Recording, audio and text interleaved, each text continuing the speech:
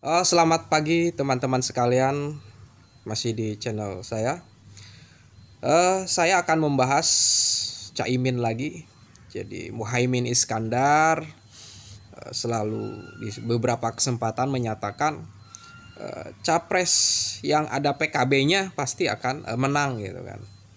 Jadi kalau didukung oleh PKB, capres itu akan menang gitu kan ini adalah suatu kepercayaan diri dari uh, Caimin gitu kan. Pokoknya yang didukung oleh PKB akan uh, menang gitu.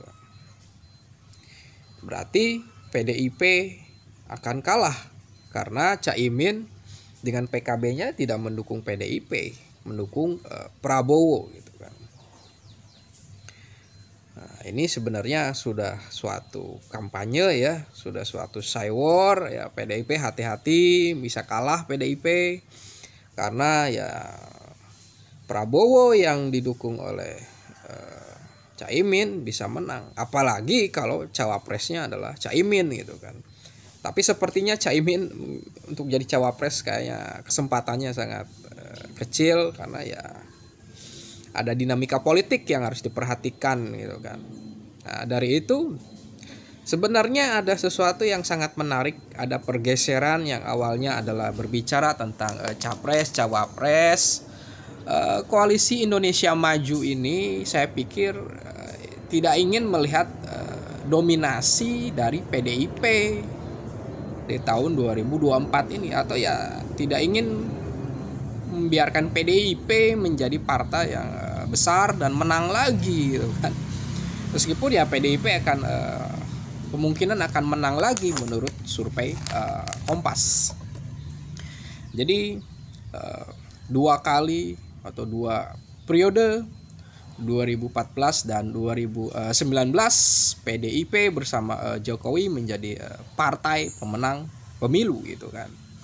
Dan saya pikir uh, ketika uh, PDIP merasa dirinya percaya diri, PDIP berusaha ingin uh, mengatur eh, jalannya politik, maka ini tidak disukai, dianggap dominasi oleh partai uh, selain uh, ya maksudnya partai yang lain gitu kan. Ini kan sesuatu yang tidak boleh dibiarkan lah, tidak boleh ada partai yang mendominasi. Ya, ada, sisi kompetisi lah di sini bahwa saat ini PDIP yang terbesar itu adalah suatu fakta politik gitu kan bahkan bisa eh, menentukan uh, arah politik, mempengaruhi suasana kebatinan para partai uh, ketua partai politik gitu kan dan saya pikir koalisi Indonesia Maju ini semuanya sedang pada dingin, kepalanya tidak menuntut untuk menjadi cawapres.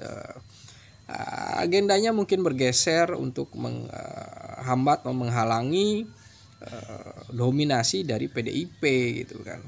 Karena ketum partai ini otaknya sudah terbagi kan.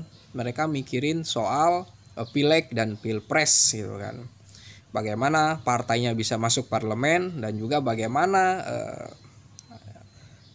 cawapresnya dari partai sendiri gitu kan. Itu aja gitu kan. Jadi memang sudah terbagi sekarang konsentrasinya gitu kan ya sekarang PDIP eh, katakanlah didukung oleh eh, P3 gitu kan. Ya P3 segera sekarang sedang bermain mata juga karena ya eh, Sandiaga Uno kemungkinan ya belum tentu juga jadi cawapresnya Ganjar Pranowo gitu kan.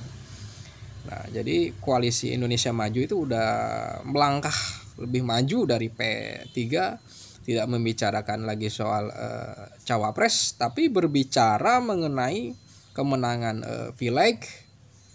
Itu. Dan berusaha untuk uh, menghentikan dominasi atau hegemoni dari PDIP gitu kan.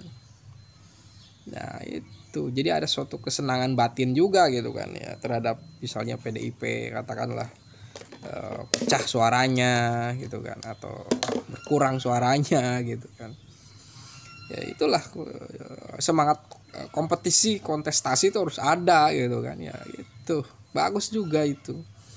Dan saya pikir eh, semakin kekuatan bersatu itu ini sangat akan membuat efek yang sangat luar biasa persatuan dan nambah suara gitu kan. Tapi ini juga menggambarkan bahwa memang eh, untuk menandingi dominasi PDIP ini partai-partai eh, PKB apa Hanu eh, PKB PAN eh, PBB Gerindra ya, harus bergabung gitu. Karena PDIP ini udah partai yang terbesar gitu kan.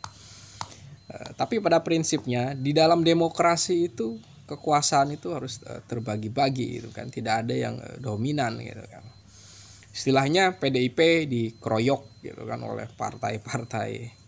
Ya itu sesuatu yang biasa saja gitu kan ya. Namanya kan kompetisi gitu kan. Uh, kalau soal uh, koalisi. Maka koalisi perubahan ini sedang dingin sekarang. Bahkan mungkin udah ketinggalan eh, zaman nggak ada pembicaraan yang lebih strategis. Jadi eh, pertemuan antar ketum itu berputar-putar berbicara tentang cawapres Anies itu. Sudah basi itu. Udah basi sekali ngomongin tentang siapa cawapres Anies Baswedan berputar-putar. Kalau nggak AHY siapa gitu kan? Di luar ah di luar koalisi Eh, seorang personal yang menguasai uh, dari wilayah Jawa Timur bisa seperti itu. Basi gitu kan ya.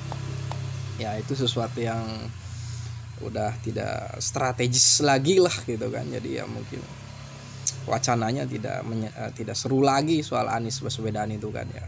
Sekarang adalah ya menguat Prabowo dan uh, Ganjar uh, Pranowo ya gitu.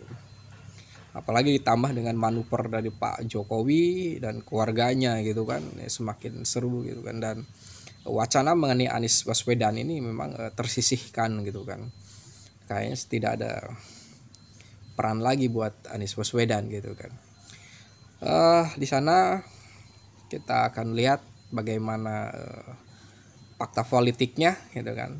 Tapi kita harus uh, jujur bahwa PDIP ini partai kader yang sangat uh, militan membangun basis ideologis dan tentu saja uh, harus melanjutkan agenda kerakyatannya gitu kan harus menjunjung tinggi demokrasi yang semakin baik uh, tidak nepotisme tidak feodal gitu kan. Ya harus menjadi partai yang uh, modern gitu kan.